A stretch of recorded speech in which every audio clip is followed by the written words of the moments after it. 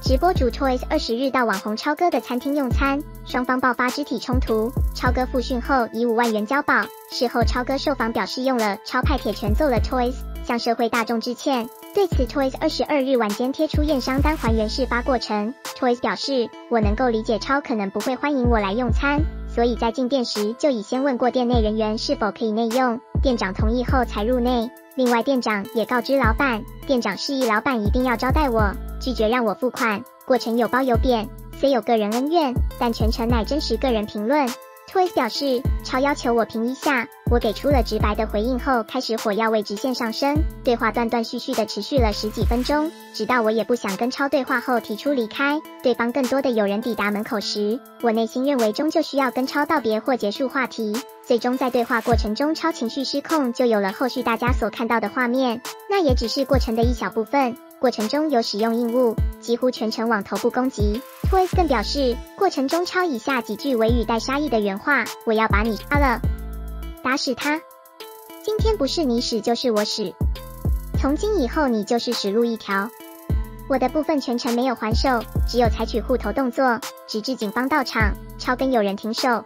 Toys 不满表示，按照超的逻辑，跟你意见分歧的人，是用暴力即可。跟我讲这么多干什么？打就对了，反正没打十几万块了事。政治立场分歧的人，是用暴力即可，为什么还要选举？蓝绿白大乱斗打赢的当选就好。他也难平的表示，按照超的语录，时间如果再倒回一次，我还是会揍他的。他反击，时间如果再倒回一次，你的醋饭够难吃。Toys 也在强调，作为一个前科犯，自己也没什么资格说教。希望大家以后在给予餐厅 Google 评论时要三思，以免遭遇血光之灾。也顺便提醒大家，以后接触超以及他家族相关产业时，尽可能不要提出负面评价，毕竟再来一次他还是会打。Toys 还说，谢谢拳击这项运动让他保住这条小命。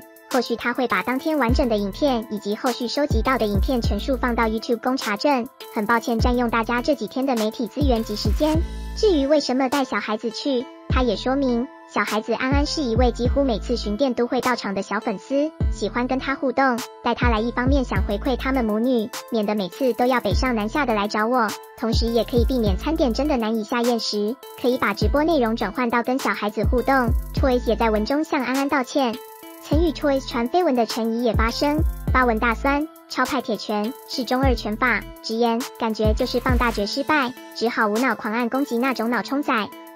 陈怡也回复 Toys 的贴文表示支持，早日康复。不喜欢一个人，不能成为合理化使用暴力的理由，表态力挺 Toys。